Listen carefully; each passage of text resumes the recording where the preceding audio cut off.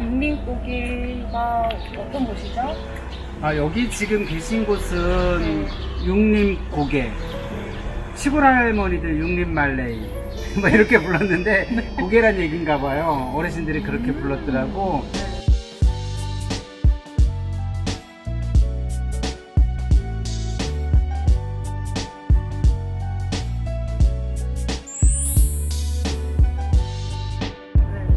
육림은 사실 그러니까 여기는 옛날 시장인데 네. 옛날에 여기가 춘천의 중심이었어요. 번화가였었는데 네. 이렇게 도시가 성장을 하면서 뭐 새로운 형태의 마트도 생기고 막 이러다 보니까 여기 상권이 죽게 됐죠. 네.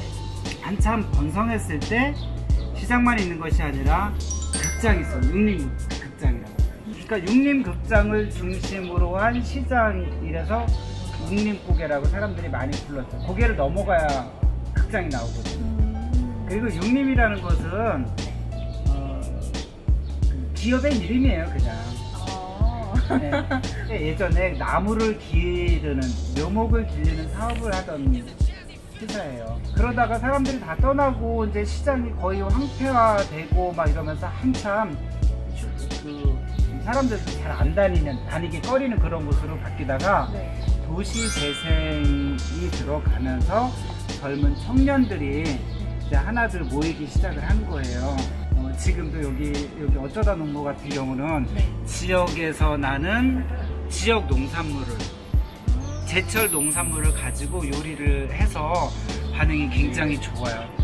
그리고 아주 오랫동안 어, 사람들이 많이 안 다닐 때도 오랫동안 그 자리를 지켜오신 분이 메밀전을 타시는 분이 있어요. 네. 강원도 메밀전병 있잖아요.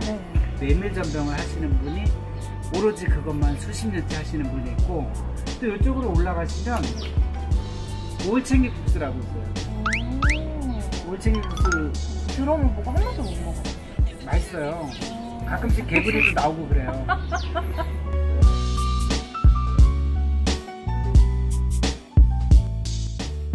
아 이게 그 유명한 경양시 1988은 이게 아니죠?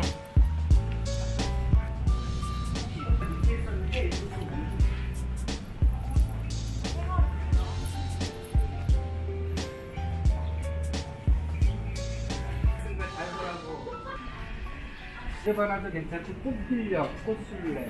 감독님, 녹두잔 하나 드시고 가시죠. 먹두가 되나요?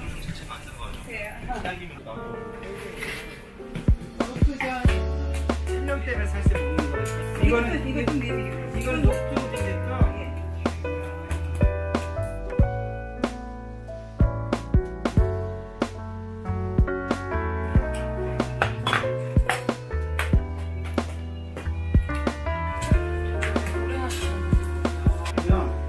방송에도 만나는데 이런 거 많이 보잖아요.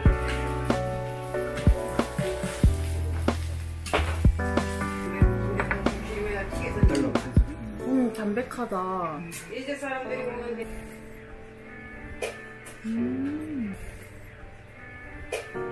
이게 메밀 빈대떡 네, 메밀 빈대떡, 메밀전, 메밀 전병, 청떡이라고 여기도 하죠. 네. 이거는 그냥 녹두 빈대떡.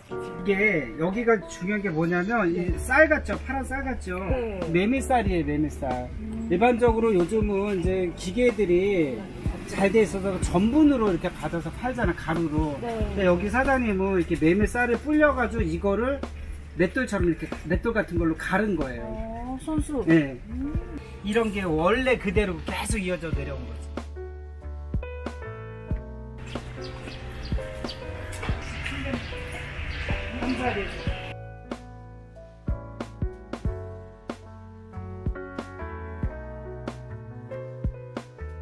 여기는 되게 옛날 그 모습이 남아있는 늑강들이에요. 이 간판들 느낌이.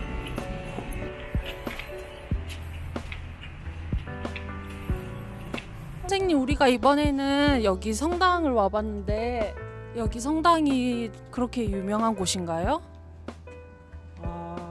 아, 중요한 곳. 중요한- 유명하다 이런 것보다는 역사적으로 굉장히 의미가 있는 곳인데 네. 춘천은 한국 전쟁 당시에 굉장히 전란의 피해를 많이 입었던 곳이에요. 네. 어, 또한 이 중림동 성당이라고 하는 곳도 피해를 많이 입었는데 네. 전쟁통에 성당이 이제 파괴가 될 거 아니에요, 그죠? 네. 근데 한쪽에서 성당 전쟁이 치러지는 와중에도 파괴된 부분이 어, 보수를 계속 이뤄가면서 성당을 유지를 했다라는 게 굉장히 의미가 있죠.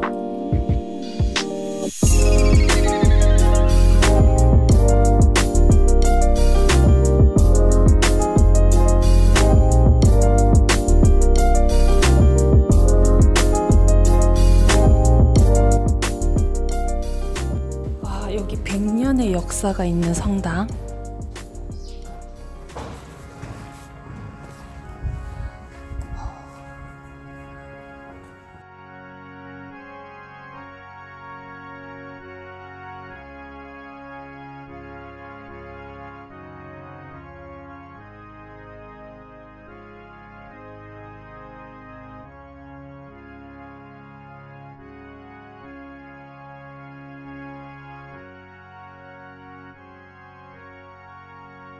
여기서 보는 성당이 너무 멋있는데요?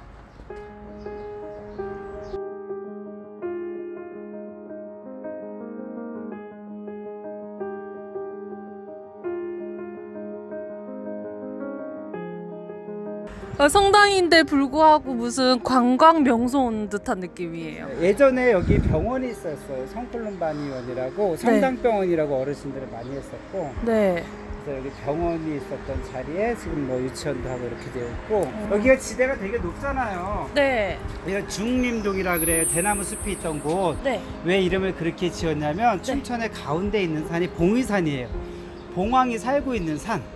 그리고 여기 넘어가는 고개가 약사리 고개라고 해서 네. 여기 약재상들이 많이 있었다 그래요. 저기 맞은편에 네.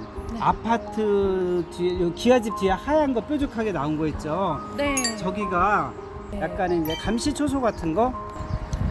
현재는 화재 감시 초소 이런 거를 한다고 하는데 지금은 사실 그런 기능은 크게 중요하진 않고